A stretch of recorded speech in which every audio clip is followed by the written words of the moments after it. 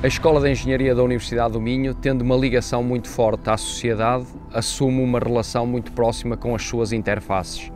Esta relação uh, que se vai estabelecendo e consolidando ao longo do tempo é uma relação que ajuda a Escola de Engenharia a cumprir a sua missão nas suas uh, diferentes vertentes, nomeadamente naquilo que se refere à investigação,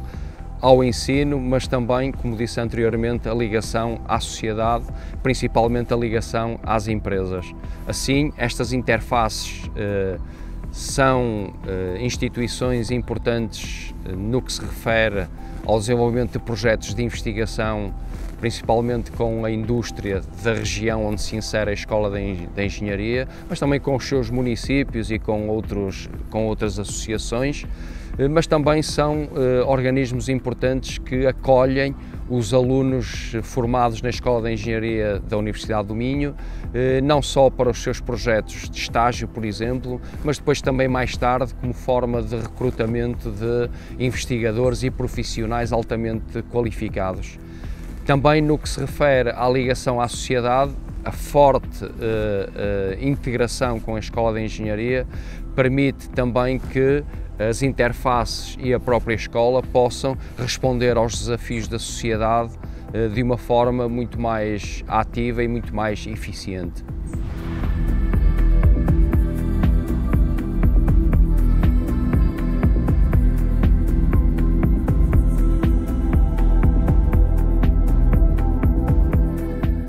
Em 2000, eh, como resultado de uma colaboração com a Universidade,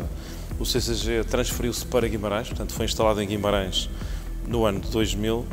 ehm, e foi formalizado nessa altura como uma das suas eh, unidades de interface, em parceria direta com, eh, com a Universidade do Minho e aqui em particular a Escola, a Escola de Engenharia. Foi reconhecido pela FCT como fazendo parte integrante da estrutura de gestão do Centro Algoritmo, portanto um dos centros com os quais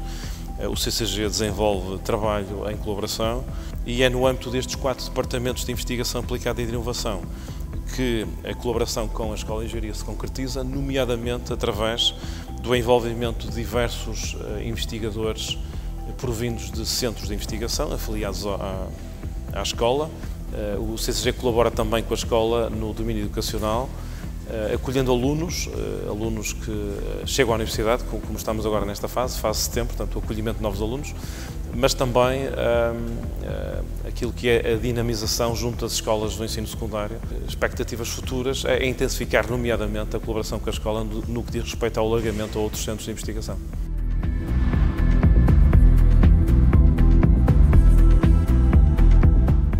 DTX Digital Transformation Collab foi criado em 2018 com o objetivo de desenvolver investigação aplicada em contexto colaborativo entre a indústria e a academia, nomeadamente a Universidade do Minho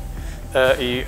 as empresas que, que são nossas associadas. Os nossos clientes são os nossos associados, as empresas associadas do DTX, com quem desenvolvemos projetos de, de inovação. Portanto, projetos que nós desenvolvemos no domínio da transformação digital são frequentemente, dada a natureza dos nossos associados em contexto industrial, projetos de, de indústria 4.0, Uh, e, neste sentido, um, são, levam inovação real ao chão de fábrica. A relação entre o DTX e a Escola de Engenharia é, é muito importante e é profunda uh, que é visível em vários aspectos. É visível na, na, na, articulação que temos em projetos mais científicos, por exemplo, o projeto iCater, um projeto na área da, da robótica colaborativa. Uh, é visível na forma como acolhemos uh, alunos de mestrado e doutoramento durante as suas teses. é visível na articulação que temos e queremos ter ainda mais com os professores da Escola de Engenharia nos projetos de inovação que levamos a cabo.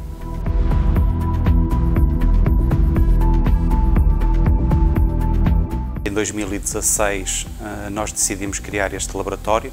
um laboratório que pretende eh, criar um conjunto de protótipos ou ferramentas para eh, apoio aos diversos projetos de investigação e desenvolvimento que temos com as empresas. Foi uma iniciativa feita por apoio e grande apoio por parte das entidades financiadoras do, do, do programa, mas também tiveram envolvidos um conjunto de individualidades, como sejam o seu reitor da Universidade do Minho, o presidente da escola, na altura, e a própria administração uh, da própria Bosch. O, o Danlab é, no fundo, o core de uma, de uma agenda de inovação uh, no âmbito do PRR, que é a agenda para uh, a fabricação aditiva, que é o InnovaIM,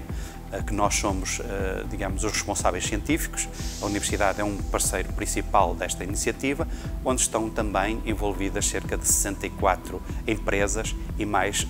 11 eh, entidades do sistema científico.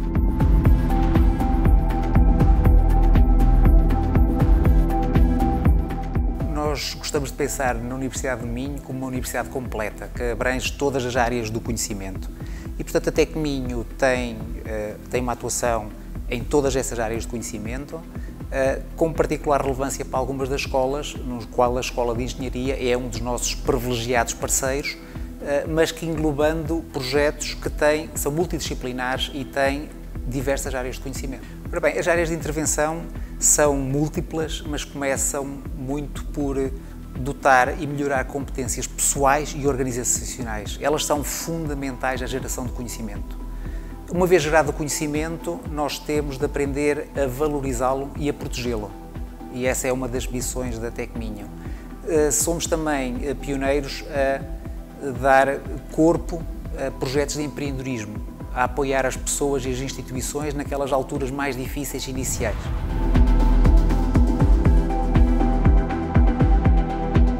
Em 2002, através de um professor da Universidade do Minho, da Escola de Engenharia, o professor Fernando Castro, surgiu a ideia de se criar um centro específico para a valorização de resíduos. foi eh, o conjunto consistiu eh, na Universidade do Minho, na Associação Portuguesa de Fundição, Tec Minho e Associação Industrial do Minho. Foram estes os quatro associados constituintes. E dentro da Universidade do Minho, a Escola de Engenharia, com o papel principal, o centro tem um, recursos humanos próprios, mas para além desses recursos humanos próprios, está sempre em ligação direta com outras universidades e especificamente com a Universidade do Minho e com os vários departamentos, eh, nomeadamente da Escola de Engenharia da Universidade do Minho. Recorre muito ao know-how que existe nestes uh, departamentos. Existe aqui uma, uma permuta e entre o CVR e o, os três departamentos que eu já mencionei e outros departamentos da Escola de Engenharia que também recorrem ao, ao CVR.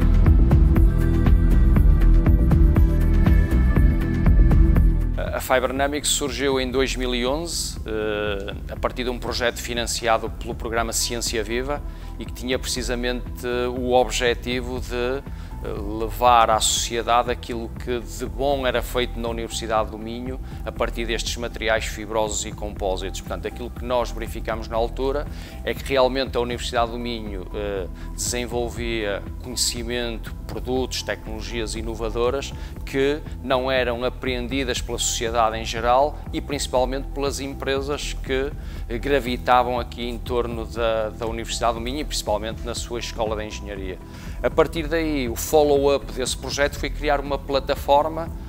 diria informal, que funcionou nessa altura dentro da própria Escola de Engenharia, mas que ligava precisamente as atividades da Escola de Engenharia nesta área das fibras e dos compósitos a esse conjunto de parceiros que se foi criando ao longo desse tempo e que gerou um conjunto muito alargado de projetos inovadores em diversos domínios, em diversas áreas.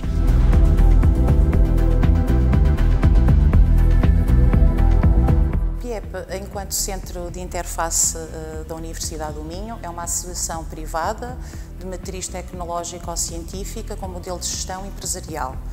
Eh, a forte colaboração do Departamento de Engenharia de Polímeros da Universidade do Minho com o tecido empresarial do setor dos plásticos e compósitos cede apelou à necessidade da existência de uma estrutura dedicada eh, capaz de dar resposta às necessidades ao nível de desenvolvimento e inovação das empresas eh, nacionais, em primeira instância, que operam num mercado global altamente competitivo. Movidos pelo lema de converter ideias em produtos, O PIEP desenvolve soluções para um conjunto alargado de setores de aplicação nomeadamente o automóvel, a aeronáutica, calçado, o têxtil, a saúde, a embalagem, portanto os polímeros estão em todo o lado e é factual que as atividades que temos e a competência técnica que temos hoje, ela é transversal e pode ser aplicada em diversas aplicações e diversos setores, havendo muitas vezes também a transferência de conhecimento e de tecnologia entre estes setores de aplicação.